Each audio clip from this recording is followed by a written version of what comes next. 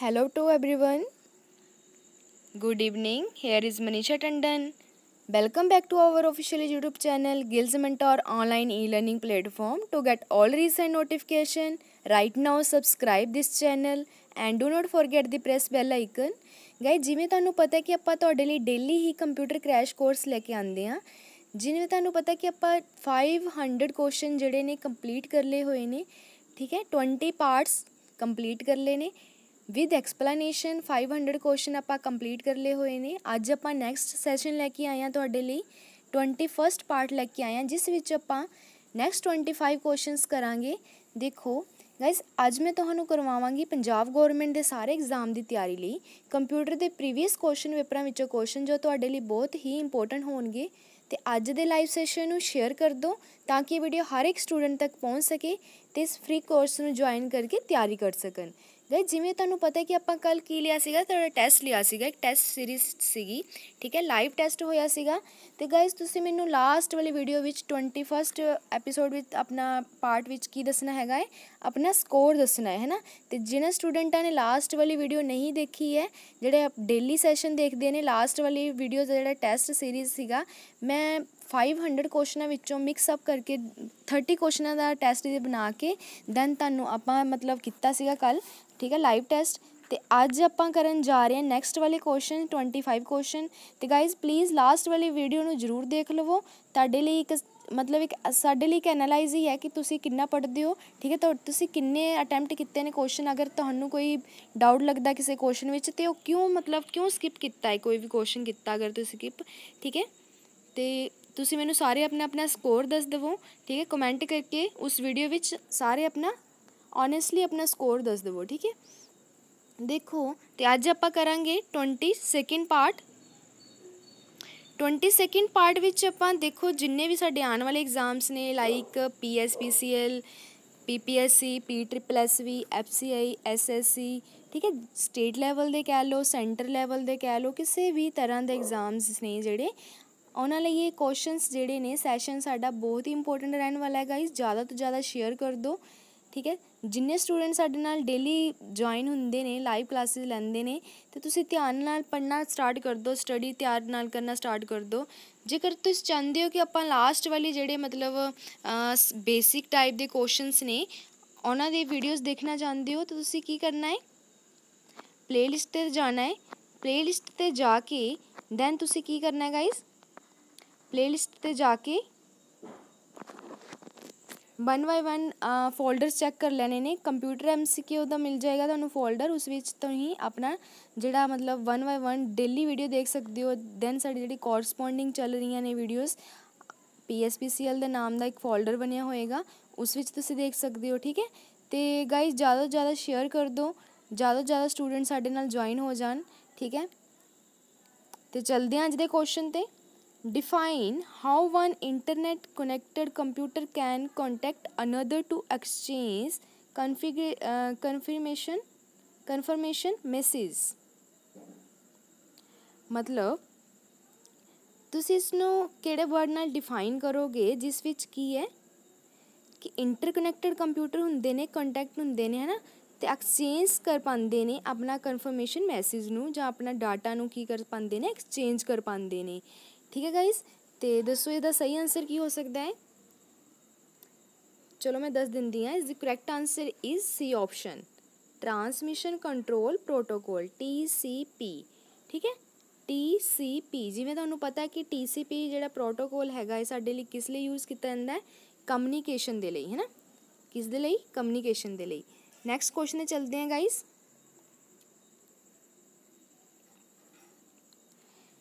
documents of the bev that are transported over the internet are called.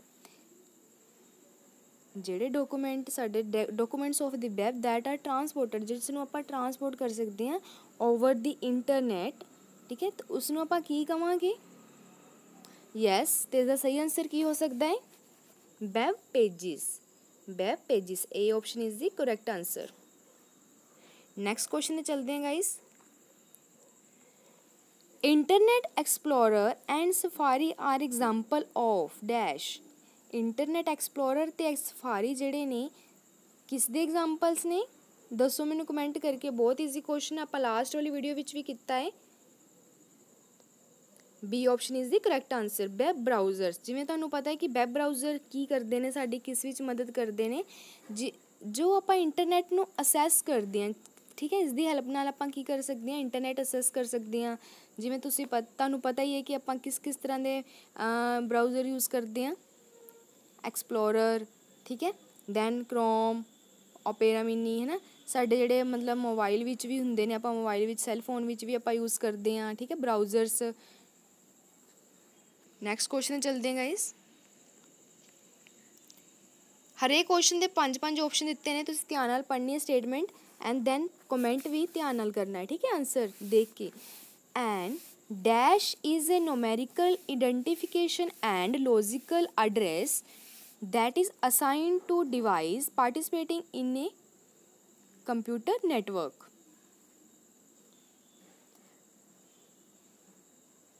ਸਮਝ ਆ ਗਿਆ question ਦੇਖੋ ਕੀ ਲਿਖਿਆ ਹੋਇਆ ਹੈ ਇੱਕ ਨੂਮੈਰੀਕਲ ਆਇਡੈਂਟੀਫਿਕੇਸ਼ਨ ਕਹਿ ਸਕਦੇ ਆ ਮਤਲਬ ਕਿ ਨੋਮੈਰੀਕਲ ਆਇਡੈਂਟੀਫਿਕੇਸ਼ਨ ਜਾਂ ਲੌਜੀਕਲ ਐਡਰੈਸ ਕਹਿ ਸਕਦੇ ਹਾਂ, ਜਿਹੜਾ ਕਿ ਆਪਾਂ ਅਸਾਈਨ ਕੀਤਾ ਹੁੰਦਾ ਹੈ ਕਿਸ ਨੂੰ ਡਿਵਾਈਸਸ ਨੂੰ ਹੈ ਨਾ ਕਿਸ ਤੇ ਕੰਪਿਊਟਰ ਨੈਟਵਰਕ ਅਗਰ ਆਪਾਂ ਦੇਖੋ, ਹਰੇਕ ਕੰਪਿਊਟਰ ਨੈਟਵਰਕ ਦਾ ਯੂਨੀਕ ਆਇਡੈਂਟੀਫਿਕੇਸ਼ਨ ਹੁੰਦੀ ਹੈ। ਇਸ ਤੋਂ ਤੁਹਾਨੂੰ ਅੰਦਾਜ਼ਾ ਲੱਗ ਜਾਣਾ ਚਾਹੀਦਾ ਤੇ ਇਸ ਦਾ ਆਨਸਰ ਕੀ ਹੋਣਾ ਚਾਹੀਦਾ ਹੈ? D option that is internet protocol address IP address ਹੈ ਨਾ ਸਭ ਦਾ ਯੂਨੀਕ ਹੁੰਦਾ ਹੈ। ਨੈਕਸਟ ਕੁਐਸਚਨ ਚਲਦੇ ਹਾਂ।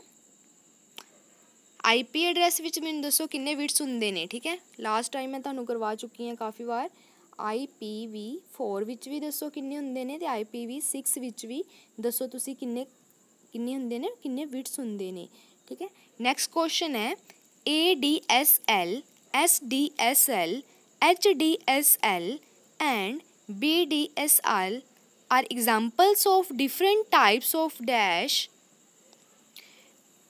ਕੁਝ ਟਰਮਸ ਦਿੱਤੀਆਂ ਹੋਈਆਂ ਨੇ, ਤਾਂ ਤੁਸੀਂ ਦੱਸਣਾ ਹੈ ਕਿ ਕਿਸ ਤਰ੍ਹਾਂ ਦੀਆਂ ਐਗਜ਼ਾਮਪਲਸ ਨੇ, ਜਿਹੜੀਆਂ ਕਿ ਡਿਫਰੈਂਟ ਟਾਈਪਸ ਕਿਸ ਦੇ ਵਿੱਚ ਆਣਗੀਆਂ ਕਿਸ ਚ ਇਨਕਲੂਡ ਹੋਣਗੀਆਂ? ਹਾਂਜੀ, ਤੇ ਇਸ ਦਾ ਸਹੀ ਆਨਸਰ ਕੀ ਹੈ?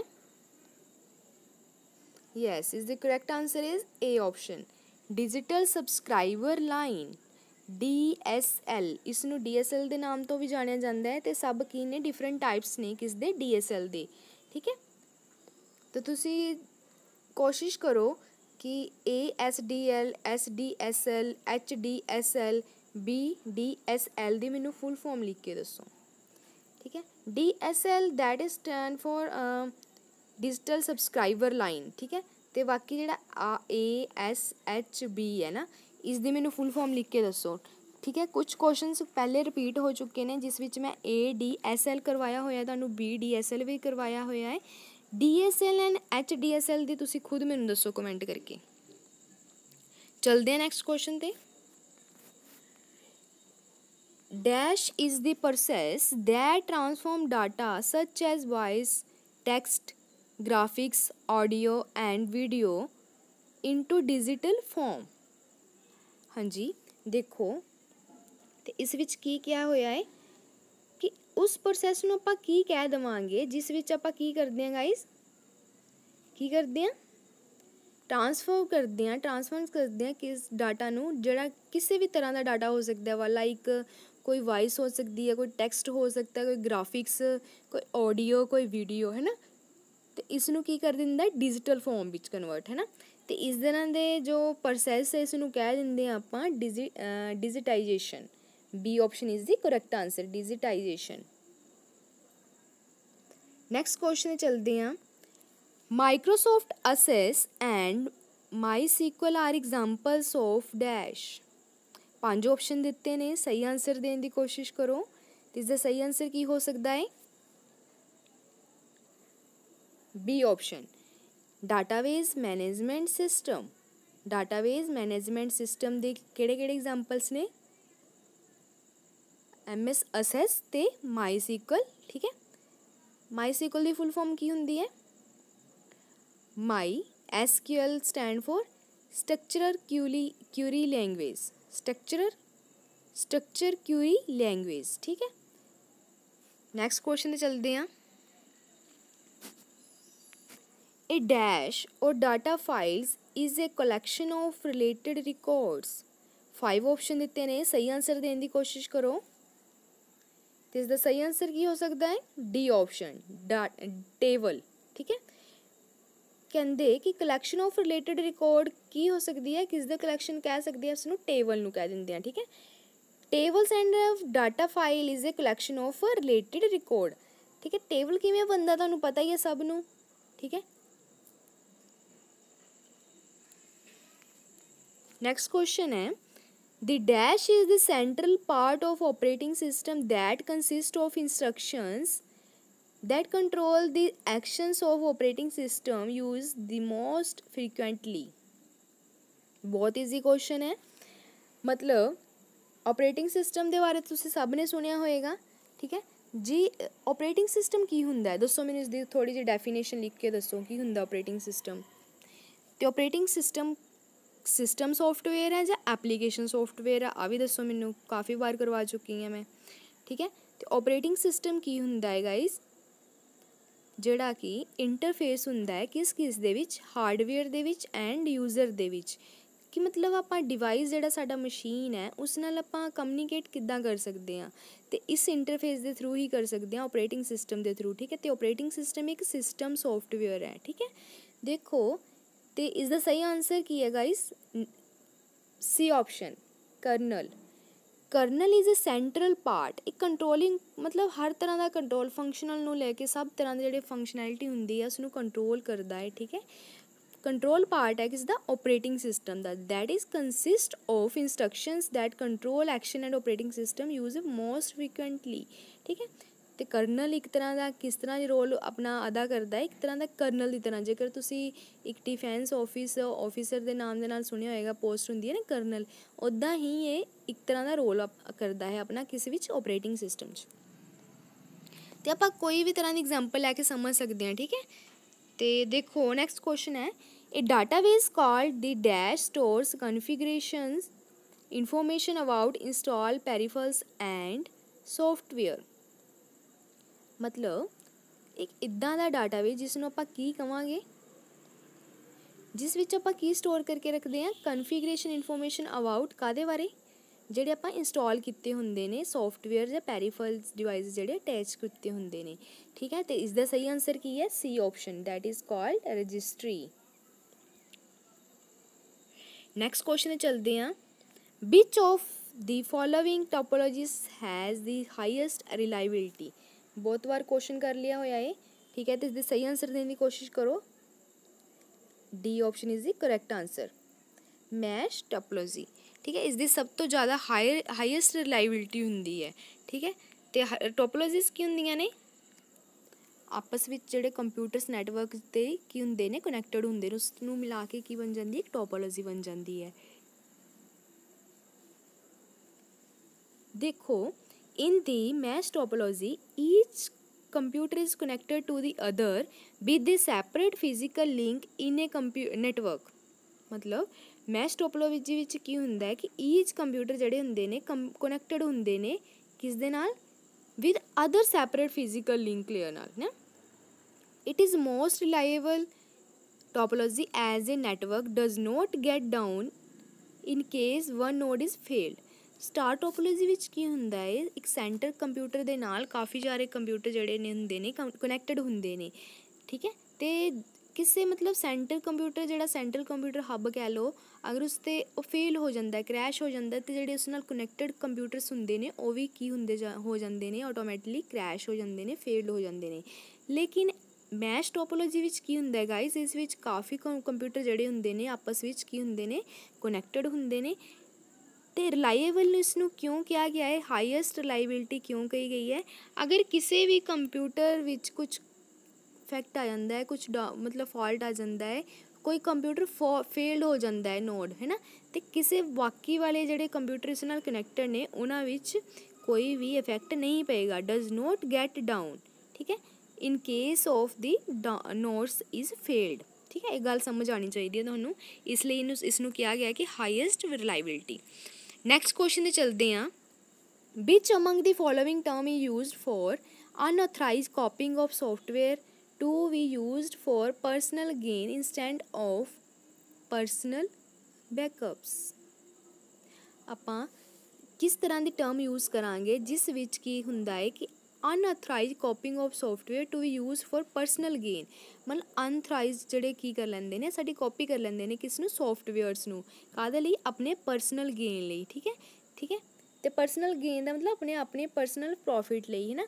ਤੇ ਇਸ ਦਾ ਸਹੀ ਆਨਸਰ ਕੀ ਹੈ guys software piracy software piracy software piracy is the illegal copying distribution and use of the software ਦੇਖੋ ਕਿੰਨੇ ਤਰ੍ਹਾਂ ਦੇ ਸਾਡੇ ਕੰਪਿਊਟਰ ਜਿਹੜੇ ਹੁੰਦੇ ਨੇ, ਮਤਲਬ ਸੌਫਟਵੇਅਰ ਨੇ, ਕੋਈ ਆਪਰੇਟਿੰਗ ਸਿਸਟਮ ਨੇ, ਜਿਹੜੇ ਪਾਇਰੇਸੀ ਹੈ ਨਾ, ਕਿ ਜਿਵੇਂ ਤੁਹਾਨੂੰ ਪਤਾ ਹੀ ਹੈ, ਅਗਰ ਆਪਾਂ ਇੱਕ ਸੌਫਟਵੇਅਰ ਲੈਣਾ ਹੋਵੇ ਤੇ ਉਸ ਦਾ ਪ੍ਰਾਈਸ 5000 ਤੋਂ ਲੈ ਕੇ 10000 ਮਤਲਬ ਹਾਈਐਸਟ ਪ੍ਰਾਈਸ ਕਾਫੀ ਜ਼ਿਆਦਾ ਹੋ ਸਕਦਾ ਹੈ, ਲੇਕਿਨ ਪਾਇਰੇਸੀ ਕਾਫੀ ਕਾਪੀ ਉਸਦੇ ਕੀਤੇ ਹੋਏ ਨੇ, ਜਿਹੜਾ ਕਿ ਸਾਡੇ ਲਈ ਕੀ ਹੈ, ਇੱਕ ਇਲੀਗਲ ਵਰਕ ਹੈ ਨਾ, ਨਹੀਂ ਕਰਨਾ ਚਾਹੀਦਾ ਇਦਾਂ ਹੈ ਨਾ ਇਸ ਨੂੰ ਯੂਜ਼ ਆਫ ਦੀ ਸੌਫਟਵੇਅਰ ਜਿਹੜੇ ਆਪਾਂ ਕਰਦੇ ਹਾਂ, ਸਾਰੇ ਪਾਇਰੇਸੀ ਹੋ ਸਕਦੇ ਨੇ ਨਾ। ਦੇਖੋ ਤੇ ਨੈਕਸਟ ਕੁਐਸਚਨ ਚਲਦੇ ਆ A Vedic court can spot how much different representation of characters.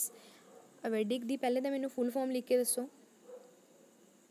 E B D I C ਅਵੈਡਿਕ ਨੂੰ ਆਪਾਂ ਮਤਲਬ ਅਵੈਡਿਕ ਨੂੰ ਆਪਾਂ ਕਿੱਦਾਂ ਲਿਖ ਸਕਦੇ ਹਾਂ ਇਸ ਦੀ ਫੁੱਲ ਫਾਰਮ ਕੀ ਲਿਖ ਸਕਦੇ ਹਾਂ ਇਸ ਦੀ ਫੁੱਲ ਫਾਰਮ ਲਿਖ ਕੇ ਦੱਸੋ ਸੈਕੰਡਲੀ ਦੱਸੋ ਕਿ how much different representation of the character ਅਗਰ ਇਸ ਨੂੰ ਆਪਾਂ ਰਿਪਰੈਜ਼ੈਂਟ ਕਰਨਾ ਹੋਵੇ ਤੇ ਕਿੰਨੇ ਕਰੈਕਟਰਸ ਨਾਲ ਕੀ ਕਰ ਸਕਦੇ ਹਾਂ? ਰਿਪਰੈਜ਼ੈਂਟ ਕਰ ਸਕਦੇ ਹਾਂ। ਤੇ ਇਸ ਦਾ ਸਹੀ ਆਨਸਰ ਹੈ ਏ ਆਪਸ਼ਨ 256 ਕਰੈਕਟਰਸ ਨਾਲ। ਤੇ ਗਾਇਜ਼ ਫੁੱਲ ਫਾਰਮ ਮੈਨੂੰ ਕਮੈਂਟ ਕਰਕੇ ਜਲਦੀ ਤੋਂ ਜਲਦੀ ਦੱਸੋ। ਦੇਖੋ, ਜੇ ਨਹੀਂ ਪਤਾ ਫੁੱਲ ਫਾਰਮ ਦੇਖ ਲਓ।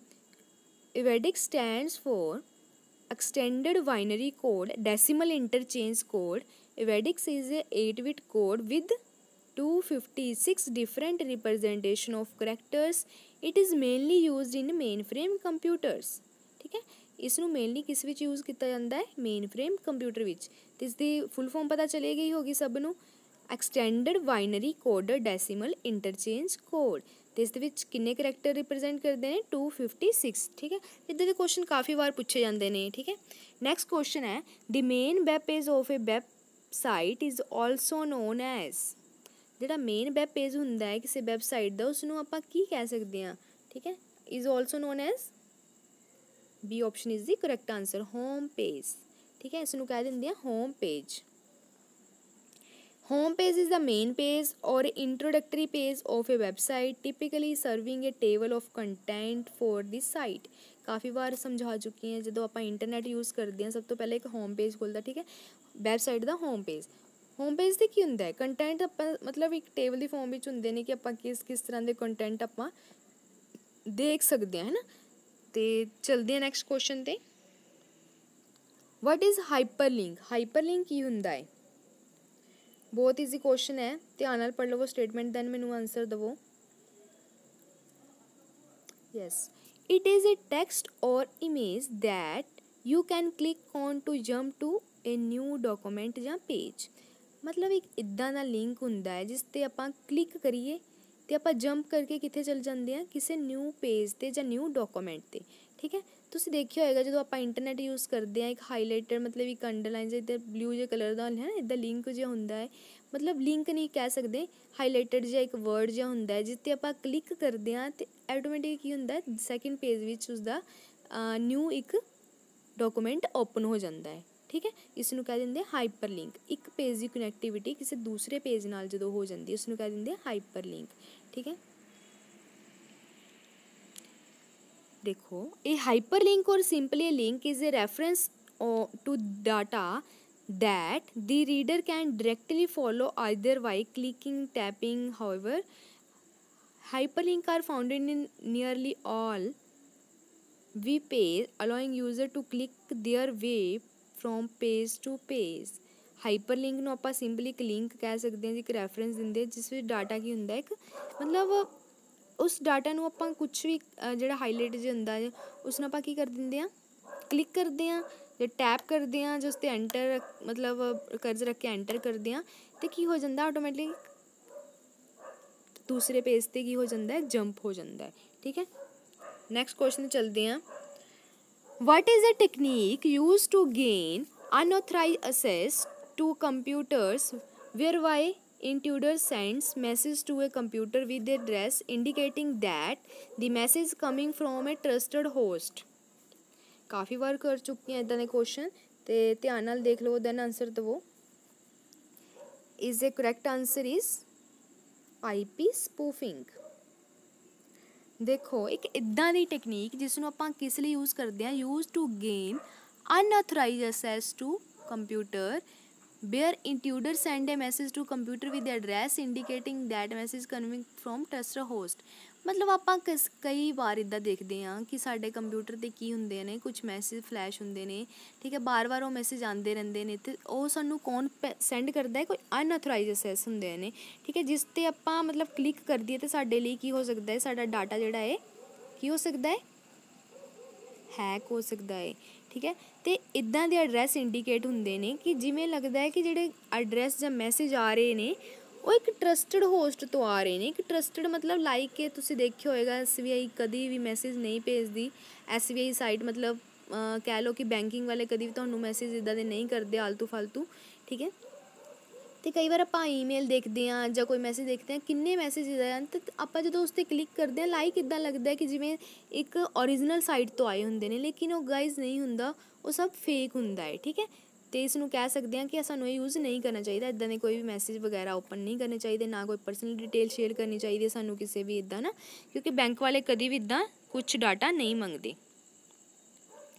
ਦੇਖੋ ਸਪੂਫਿੰਗ ਕੀ ਹੁੰਦੀ ਹੈ? Is a type of scam where an intruders intruders hackers ਕਹਿ ਦਿੰਦੇ ਆ attempts to gain unauthorized access to user system information while pretending to be the user the main purpose is to trick the user into realizing sensitive information ਠੀਕ ਹੈ ਇਸ ਦਾ main purpose ਕੀ ਹੈ ਕਿ ਇਦਾਂ ਦੀ trick ਜਿਹੜਾ ਕਿ ਯੂਜ਼ਰ ਕੀ ਕਰੇ, ਆਪਣਾ ਰਿਲੀਜ਼ ਕਰ ਦੇਵੇ ਰਿਲਾਈਜ਼ਿੰਗ ਦੀ ਸੈਂਸਿਟਿਵ ਇਨਫੋਰਮੇਸ਼ਨ ਜਿਹੜੀ ਸਾਡੀ ਪਰਸਨਲ ਇਨਫੋਰਮੇਸ਼ਨ ਹੈ ਉਸ ਨੂੰ ਰਿਲਾਈਜ਼ ਕਰਦੇ ਤੁਸੀਂ ਸੋਚੋ ਕਿ ਨਹੀਂ, ਇਹ ਸੱਚੀ ਦਾ ਹੀ ਸਾਡਾ ਲਿੰਕ ਹੈ, ਨਹੀਂ ਸਾਡਾ ਤਾਂ, ਮਤਲਬ ਇਦਾਂ ਦੇ ਆਪਸ਼ਨ ਆਣਗੇ ਜਿਵੇਂ ਇਦਾਂ ਦੇ ਮੈਸੇਜ ਆਣਗੇ ਤੁਹਾਨੂੰ ਕਿ ਨਹੀਂ, ਤੁਹਾਨੂੰ ਲੱਗੇ ਕਿ ਨਹੀਂ, ਇਹ ਸੱਚ ਹੀ ਹੈ, ਕਿ ਤੁਹਾਡਾ ਜਿਹੜਾ ਏਟੀਐਮ ਐਕਸਪਾਇਰ ਹੋ ਗਿਆ ਹੈ, ਤੁਹਾਡਾ ਮਤਲਬ ਕ੍ਰੈਡਿਟ ਕਾਰਡ ਐਕਸਪਾਇਰ ਹੋ ਗਿਆ ਡੇਟ ਤੁਸੀਂ ਅਪਲਾਈ ਕਰਨ ਲਈ ਇਨਫੋਰਮੇਸ਼ਨ ਫਿਲ ਕਰੋ, ਠੀਕ ਹੈ? ਇਦਾਂ ਦੇ ਮੈਸੇਜ ਤੁਸੀਂ ਕਾਫੀ ਵਾਰ ਦੇਖੇ ਹੋਣਗੇ, ਤੇ ਇਦਾਂ ਦੇ ਮੈਸੇਜ ਤੇ ਕਦੀ ਵੀ ਯਕੀਨ ਨਹੀਂ ਕਰਨਾ ਹੈ।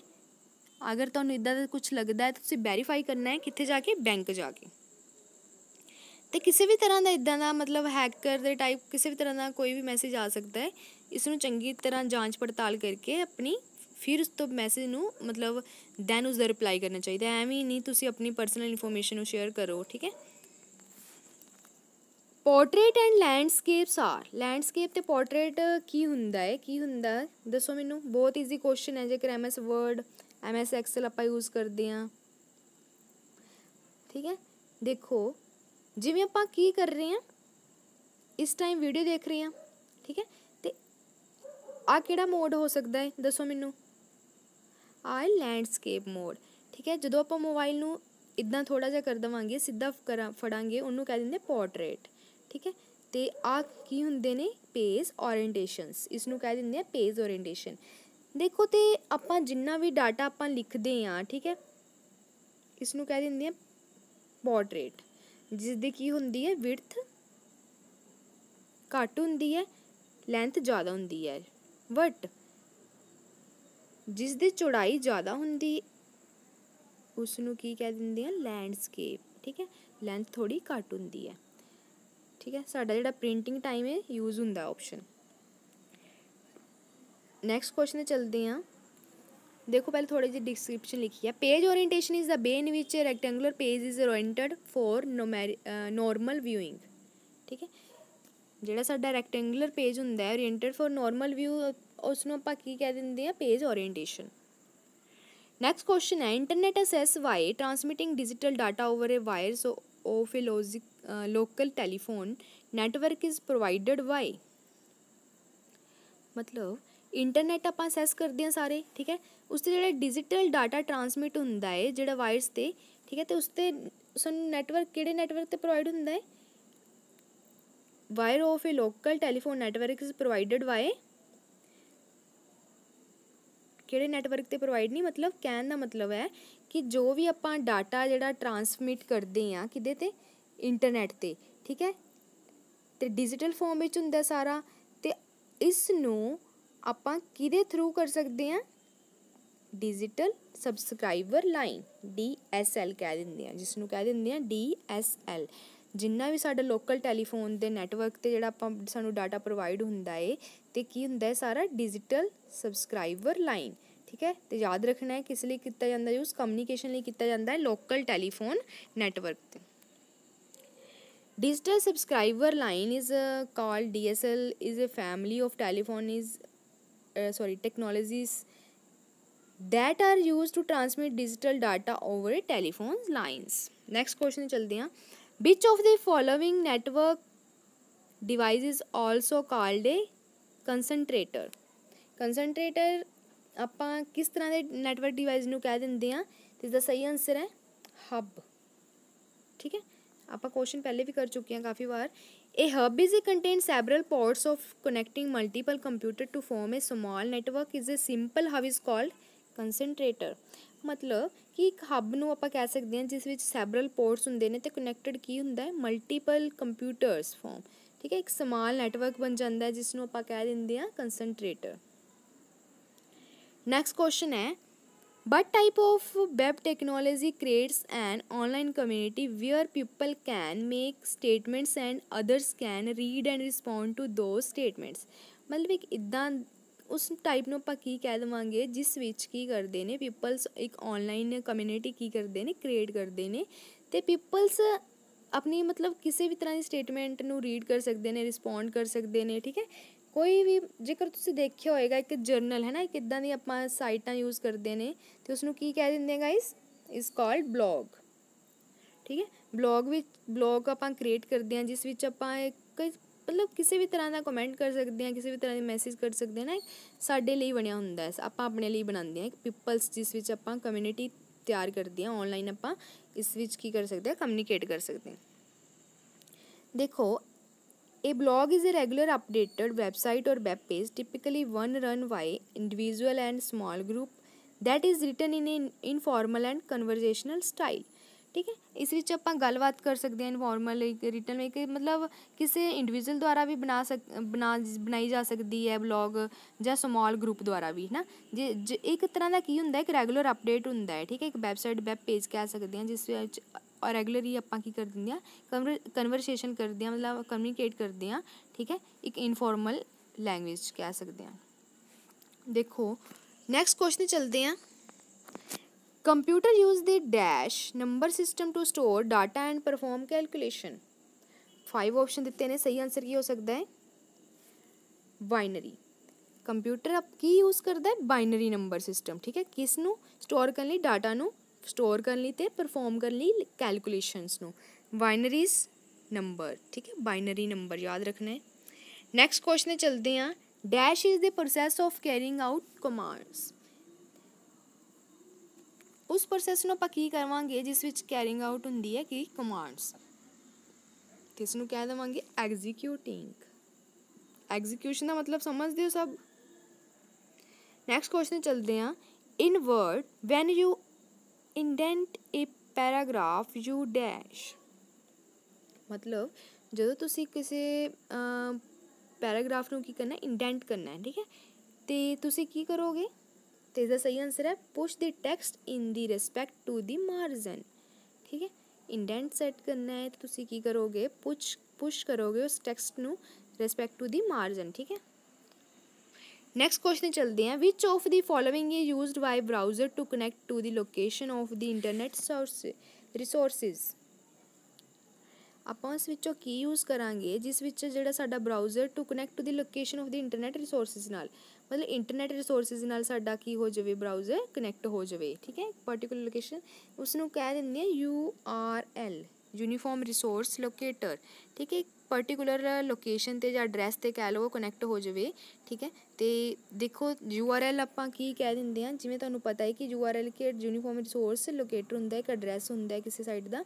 ਜਿਵੇਂ ਤੁਸੀਂ ਦੇਖਿਆ ਹੋਏਗਾ http slash www.gilsmentor ਠੀਕ ਹੈ? Gilsmentor.com ਤੇ ਸਾਰਾ ਕੀ ਆ ਜਾਂਦਾ ਗਾਇਸ ਸਾਰਾ ਆ ਜਾਂਦਾ ਸਾਡੇ ਤੋਂ .com ਇਸ ਨੂੰ ਕਹਿ ਦਿੰਦੇ ਆ URL ਠੀਕ ਹੈ? ਸਾਈਟ ਤੇ ਤੁਸੀਂ ਦੇਖਿਆ ਹੋਏਗਾ ਇਦਾਂ ਸਾਈਟ ਜਦੋਂ ਆਪਾਂ ਅਸੈਸ ਕਰਦੇ ਆ ਇੰਟਰਨੈਟ ਅਸੈਸ ਕਰਦੇ ਆ ਸਭ ਤੋਂ ਪਹਿਲਾਂ ਐਡਰੈਸ ਬਾਰ ਇੱਥੇ ਕੀ ਹੁੰਦਾ ਹੈ? URL ਹੀ ਹੁੰਦਾ ਸ਼ੋ ਹਰੇਕ ਸਾਈਟ ਦਾ ਆਪਣਾ ਆਪਣਾ ਮਤਲਬ ਸਾਰਿਆਂ ਦਾ ਐਡਰੈਸ ਹੁੰਦਾ ਹੈ, ਠੀਕ ਹੈ? Dash is the process of dividing the disk into track and sectors ਉਸ ਪ੍ਰੋਸੈਸ ਨੂੰ ਆਪਾਂ ਕੀ ਕਵਾਂਗੇ, ਜਿਸ ਵਿੱਚ ਡਿਵਾਈਡ ਕਰਦੇ ਆ ਆਪਾਂ ਡਿਸਕ ਨੂੰ ਟਰੈਕ ਐਂਡ ਸੈਕਟਰ ਦੇ ਵਿੱਚ। ਤੇ ਉਸ ਨੂੰ ਕੀ ਕਹਿ ਦਿੰਦੇ ਆ ਗੈਸ ਕਰੋ। ਫਾਰਮੈਟਿੰਗ ਠੀਕ ਹੈ? A B option is the second option is the correct answer ਤੇ ਗਾਇਸ ਸਾਡੇ ਜਿਹੜੇ ਨੇ ਅੱਜ 2 525 ਕੁਐਸਚਨਸ 525 ਕੁਐਸਚਨ ਕੰਪਲੀਟ ਹੋ ਗਏ ਨੇ ਅੱਜ ਤੱਕ। ਠੀਕ ਹੈ? ਆਪਾਂ 20 ਟੂ ਪਾਰਟਸ ਆ ਕੰਪਲੀਟ ਕੀਤਾ ਹੈ, ਜਿਸ ਵਿੱਚ ਆਪਾਂ ਨੈਕਸਟ 25 ਕੁਐਸਚਨ ਕੀਤੇ ਨੇ। ਅੱਜ ਦਾ ਸੈਸ਼ਨ ਸਾਡਾ ਇੱਥੇ ਹੀ ਖਤਮ ਹੁੰਦਾ ਹੈ ਗਾਇਸ ਅੱਜ ਆਪਾਂ ਮਤਲਬ ਜਿਹੜੇ ਨੇ ਕੁਐਸਚਨਸ ਜਿੰਨੇ ਵੀ ਕੀਤੇ ਨੇ ਕੁਝ ਕੁਐਸਚਨਸ ਤੇ ਇਦਾਂ ਦੇ ਨੇ, ਇੱਕ ਦੋ ਕੁਐਸਚਨ ਇਦਾਂ ਰਿਪੀਟ ਹੋ ਜਾਂਦੇ ਨੇ, ਜਿਸ ਵਿੱਚ ਜਿਹੜੇ ਕਿ ਆਪਾਂ ਪਹਿਲੇ ਵਾਲੇ ਸੈਸ਼ਨ ਵਿੱਚ ਵੀ ਕੀਤੇ ਹੁੰਦੇ ਨੇ। ਠੀਕ ਹੈ ਇਸ ਦਾ ਮਤਲਬ ਹੁੰਦਾ ਕਿ ਵੈਰੀ ਇੰਪੋਰਟੈਂਟ ਕੁਐਸਚਨ ਨੇ ਕਦੇ ਵੀ ਆ ਸਕਦੇ ਨੇ। ਠੀਕ ਹੈ, ਤੇ ਆਪਾਂ ਕੁਐਸਚਨਸ ਜਿਹੜੇ ਲਏ ਨੇ, ਸਾਰੇ ਕਿੱਥੋਂ ਲਏ ਨੇ? ਪ੍ਰੀਵੀਅਸ ਕੁਐਸਚਨ ਪੇਪਰਾਂ ਵਿੱਚੋਂ ਲਏ ਨੇ। ਤੇ ਉਮੀਦ ਕਰਦੇ ਹਾਂ ਕਿ ਜਿੰਨੇ ਵੀ ਆਉਣ ਵਾਲੇ ਐਗਜ਼ਾਮਸ ਲਈ ਇਹਨਾਂ ਲਈ ਬਹੁਤ ਹੈਲਪਫੁਲ ਹੋਣਗੇ, ਆਉਣ ਵਾਲੇ ਪੇਪਰਾਂ ਲਈ, ਠੀਕ ਹੈ? ਤੇ ਗਾਇਸ ਤੁਸੀਂ ਨਾਲ ਨਾਲ ਆਪਣੀ ਤਿਆਰੀ ਕਰਨਾ ਸਟਾਰਟ ਕਰ ਦਿਓ ਬੇਸਿਕ ਕੁਐਸਚਨ ਦੀ ਵੀ, ਠੀਕ ਹੈ? ਹੁਣ ਤੇ ਆਪਾਂ ਡੇਲੀ ਅਪ ਐਪ ਲੈਵਲ ਤੇ ਜਾਵਾਂਗੇ ਕਿਉਂਕਿ ਬੇਸਿਕ ਸਾਡਾ ਕਵਰ ਹੋ ਚੁੱਕਿਆ ਜਿਨ੍ਹਾਂ ਸਟੂਡੈਂਟਾਂ ਨੇ ਲਾਸਟ ਵਾਲੇ ਬੇਸਿਕ ਵੀਡੀਓਜ਼ ਨਹੀਂ ਦੇਖੀਆਂ ਬੇਸਿਕ ਵੀਡੀਓ ਦੇਖਣ ਦੇ ਲਈ ਪਲੇਲਿਸਟ ਤੇ ਜਾਓ, ਜਿਹੜੇ ਤੇ ਨਵੇਂ ਸਟੂਡੈਂਟ ਜੁੜੇ ਨੇ ਸਬਸਕ੍ਰਾਈਬ ਕਰ ਲਓ ਚੈਨਲ ਨੂੰ ਦੈਨ ਪਲੇਲਿਸਟ ਤੇ ਜਾਓ। ਠੀਕ ਹੈ ਪਲੇਲਿਸਟ ਤੇ ਜਾ ਕੇ ਕੰਪਿਊਟਰ ਐਮਸੀਕਿਊ ਨਾਮ ਦਾ ਇੱਕ ਫੋਲਡਰ ਬਣਿਆ ਹੋਏਗਾ, ਉਸ ਤੇ ਜਾ ਕੇ ਆਪਣੇ 1 ਬਾਈ 1 ਤੁਸੀਂ ਸਾਰੀ ਵੀਡੀਓ ਦੇਖ ਸਕਦੇ ਹੋ ਬੇਸਿਕ ਦੀਆਂ, ਠੀਕ ਹੈ ਐਮਐਸ ਵਰਡ ਐਕਸਲ ਕੰਪਿਊਟਰ ਜਿੰਨੇ ਵੀ ਬੇਸਿਕਸ ਕਰਵਾਈਆਂ ਨੇ ਅੱਜ ਤੱਕ। ਦੈਨ ਅਪ ਸਾਡੇ ਜਿਹੜੀ ਕਲਾਸ ਚੱਲਦੀ ਹੈ ਕੋਰਸਪੋਂਡਿੰਗ 6 ਵਜੇ ਡੇਲੀ ਕਲਾਸ ਹੁੰਦੀ ਹੈ, ਇਹ ਵੀਡੀਓ ਸਕਿਪ ਨਹੀਂ ਕਰਨੀ ਹੈ ਕਦੀ ਵੀ, ਠੀਕ ਹੈ। ਅਗਰ ਬਾਈ ਚਾਂਸ ਕਦੀ ਹੋ ਜਾਂਦਾ ਹੈ ਕਿ ਤੁਸੀਂ ਲਾਈਵ ਸੈਸ਼ਨ ਨਹੀਂ ਦੇਖ ਪਾਉਂਦੇ ਹੋ ਤੁਸੀਂ ਜਦੋਂ ਆਫਲਾਈਨ ਆਪਾਂ ਆਫਲਾਈਨ ਕਰ ਦਿੰਦੇ ਹਾਂ ਇਸ ਨੂੰ, ਠੀਕ ਹੈ? ਆਫਲਾਈਨ ਸ਼ੇਅਰ ਕਰ ਦਿੰਦੇ ਹਾਂ। ਦੈਨ ਤੁਸੀਂ ਡਾਊਨਲੋਡ ਕਰਕੇ ਦੇਖ ਸਕਦੇ ਹੋ ਜਾਂ ਸਿੰਪਲੀ ਵੀ ਦੇਖ ਸਕਦੇ ਹੋ, ਠੀਕ ਹੈ? ਤੇ ਆਪਣੇ ਜਿੰਨੇ ਵੀ ਫਰੈਂਡਸ ਨੇ, ਤੁਹਾਡੇ ਕੰਟੈਕਟ ਵਿੱਚ ਜਿੰਨੇ ਵੀ ਫਰੈਂਡਸ ਨੇ ਲਿਸਟ ਵਿੱਚ, ਠੀਕ ਹੈ? WhatsApp ਤੇ ਜ਼ਿਆਦਾ ਤੋਂ ਜ਼ਿਆਦਾ ਸ਼ੇਅਰ ਕਰੋ, ਜ਼ਿਆਦਾ ਤੋਂ ਜ਼ਿਆਦਾ ਅਗਰ ਇੰਸਟਾਗ੍ਰam ਕੋਈ ਵੀ ਸੋਸ਼ਲ ਮੀਡੀਆ ਤੁਸੀਂ ਯੂਜ਼ ਕਰਦੇ ਹੋ ਉਸ ਤੇ ਜ਼ਿਆਦਾ ਤੋਂ ਜ਼ਿਆਦਾ ਡੇਲੀ ਵੀਡੀਓਜ਼ ਨੂੰ ਕੀ ਕਰਿਆ ਕਰੋ ਸ਼ੇਅਰ ਕਰਿਆ ਕਰੋ, ਠੀਕ ਹੈ? ਇਸ ਨਾਲ ਕੀ ਹੋਏਗਾ ਗਾਇਜ਼ ਜਿੰਨੇ ਸਟੂਡੈਂਟ ਤਿਆਰੀ ਕਰ ਰਹੇ ਨੇ, ਉਹਨਾਂ ਤੱਕ ਇਹ ਵੀਡੀਓਜ਼ ਪਹੁੰਚ ਜਾਣਗੀਆਂ। ਤੇ ਮੈਨੂੰ ਕਮੈਂਟ ਕਰਕੇ ਜਰੂਰ ਦੱਸੋ ਤੁਹਾਨੂੰ ਸੈਸ਼ਨ ਕਿਵੇਂ ਦੇ ਲੱਗਦੇ ਨੇ, ਤੁਹਾਡੀ ਤਿਆਰੀ ਹੋ ਰਹੀ ਹੈ ਜਾਂ ਨਹੀਂ ਹੋ ਰਹੀ ਹੈ, ਕੋਈ ਪ੍ਰੋਬਲਮ ਤਾਂ ਨਹੀਂ ਆ ਰਹੀ, ਕੋਈ ਡਾਊਟ ਤਾਂ ਨਹੀਂ ਹੈ ਤੁਹਾਨੂੰ? ਠੀਕ ਹੈ? ਇਦਾਂ ਹੀ ਆਪਾਂ ਫਿਰ ਤੋਂ 10 ਜਦੋਂ ਪਾਰਟ ਸਾਡੇ ਕੰਪਲੀਟ ਹੋ ਜਾਣਗੇ, ਆਪਾਂ ਫਿਰ ਕੀ ਕਰਾਂਗੇ? 2 ਟੂ 50 ਕੁਐਸਚਨ ਜਦੋਂ ਸਾਡੇ ਕੰਪਲੀਟ ਹੋ ਜਾਂਦੇ ਨੇ, ਜਿਵੇਂ ਕਿ ਤੁਹਾਨੂੰ ਮੈਂ ਪਤਾ ਹੈ ਕਿ ਆਪਾਂ 9 ਜਾਂ 10 ਪਾਰਟ ਪਹਿਲੇ ਕੀਤੇ ਸੀਗੇ ਦੈਨ ਇੱਕ ਟੈਸਟ ਸੀਰੀਜ਼ ਰੱਖਿਆ ਸੀਗਾ ਲਾਈਵ ਹੁਣ ਵੀ ਆਪਾਂ 2 20 ਪਾਰਟ ਜਦੋਂ ਕੰਪਲੀਟ ਕੀਤੇ ਸੀਗੇ ਲਾਸਟ ਡੇ ਫਿਰ ਤੋਂ ਆਪਾਂ ਟੈਸਟ ਲਿਆ। ਹੁਣ ਫਿਰ ਤੋਂ ਆਪਾਂ ਨਾਲ ਨਾਲ ਤਿਆਰੀ ਕਰਨੀ ਹੈ, ਫਿਰ 10 ਜਦੋਂ ਸਾਡੇ ਪਾਰਟ ਕੰਪਲੀਟ ਹੋ ਜਾਣਗੇ, ਫਿਰ ਆਪਾਂ ਟੈਸਟ ਲੈਣਾ ਹੈ। ਠੀਕ ਹੈ ਇਦਾਂ ਹੀ ਲਾਈਵ ਟੈਸਟ ਚੱਲਣਗੇ ਤੁਹਾਡੇ। ਲਾਈਵ ਤਿਆਰੀ ਚੱਲੇਗੀ ਲਾਈਵ ਕਲਾਸਿਸ ਚੱਲਣਗੀਆਂ। ਕੋਈ ਵੀ ਪ੍ਰੋਬਲਮ ਨਹੀਂ ਆਣੀ ਚਾਹੀਦੀ ਹੈ। ਆਪਣੇ ਤਰਫ ਤੋਂ 100% ਆਪਾਂ ਐਫਰਟ ਕਰਨਾ ਹੈ। ਸਾਡਾ ਪੇਪਰ ਕਲੀਅਰ ਕਿੱਦਾਂ ਨਹੀਂ ਹੁੰਦਾ, ਆਪਾਂ ਦੇਖ ਲੈਣਾ ਠੀਕ ਹੈ, ਤੇ ਦੇਖੋ ਕਮੈਂਟ ਕਰਕੇ ਜਰੂਰ ਦੱਸਣਾ ਹੈ। ਸ਼ੇਅਰ ਜ਼ਿਆਦਾ ਤੋਂ ਜ਼ਿਆਦਾ ਕਰਨਾ ਹੈ ਗਾਇਜ਼ ਠੀਕ ਹੈ? ਤੇ ਕਮੈਂਟ ਕਰਕੇ ਤੁਸੀਂ ਦੱਸਣਾ ਹੈ, ਕੋਈ ਡਾਊਟ ਤਾਂ ਨਹੀਂ ਹੈ, ਅਗਰ ਕਿਸੇ ਕੁਐਸਚਨ ਵਿੱਚ ਡਾਊਟ ਹੈ ਤਾਂ ਤੁਸੀਂ ਬੇਝਿਜਕ ਪੁੱਛ ਸਕਦੇ ਹੋ, ਠੀਕ ਹੈ? ਜ਼ਰੂਰੀ ਨਹੀਂ ਹੈ ਕਿ ਜਿਹੜਾ ਆਨਸਰ ਤੁਹਾਨੂੰ ਕਈ ਵਾਰ ਆਪਾਂ ਗਲਤੀ ਮਿਸਟੇਕ ਨਾਲ ਵੀ ਕਈ ਵਾਰ ਕੋਈ ਆਨਸਰ ਇਦਾਂ ਦਾ ਹੋ ਜਾਂਦਾ ਹੈ ਬਾਈ ਚਾਂਸ ਹੈ ਨਾ? ਤੇ ਤੁਸੀਂ ਉਸ ਚੀਜ਼ ਨੂੰ ਕੀ ਕਰਨਾ ਹੈ ਕੈਚ ਕਰਨਾ ਹੈ ਤੇ ਸਾਡੇ ਤੱਕ ਪਹੁੰਚਾਉਣਾ ਹੈ ਕਿ ਹਾਂਜੀ ਆ ਆਨਸਰ ਇਹ ਨਹੀਂ ਆ ਸੀਗਾ, ਠੀਕ ਹੈ? ਤੇ ਕੋਈ ਵੀ ਤੁਹਾਨੂੰ ਡਾਊਟ ਲੱਗਦਾ ਕਿਸੇ ਵੀ ਸਟੇਟਮੈਂਟ ਵਿੱਚ, ਉਹ ਵੀ ਤੁਸੀਂ ਪੁੱਛਣਾ ਹੈ, ਠੀਕ ਹੈ? ਤੇ ਚਲਦੇ ਹਾਂ ਗਾਇਜ਼ ਹੁਣ ਗੁੱਡ ਈਵਨਿੰਗ ਨੈਕਸਟ ਵਾਲੇ ਸੈਸ਼ਨ ਚ ਆਵਾਂਗੇ ਨੈਕਸਟ ਵਾਲੀ ਕੁਐਸਚਨਸ ਲੈ ਕੇ, ਤਦ ਤੱਕ ਜ਼ਿਆਦਾ ਤੋਂ ਜ਼ਿਆਦਾ ਸ਼ੇਅਰ ਕਰ ਦਿਓ, ਠੀਕ ਹੈ? ਤੇ ਕਮੈਂਟ ਕਰਕੇ ਜਰੂਰ ਦੱਸੋ ਤੁਹਾਨੂੰ ਕਿਵੇਂ ਦੇ ਲੱਗਦੇ ਨੇ ਸੈਸ਼ਨ ਹੁਣ ਮਿਲਾਂਗੇ ਨੈਕਸਟ ਵਾਲੀ ਵੀਡੀਓ 'ਚ।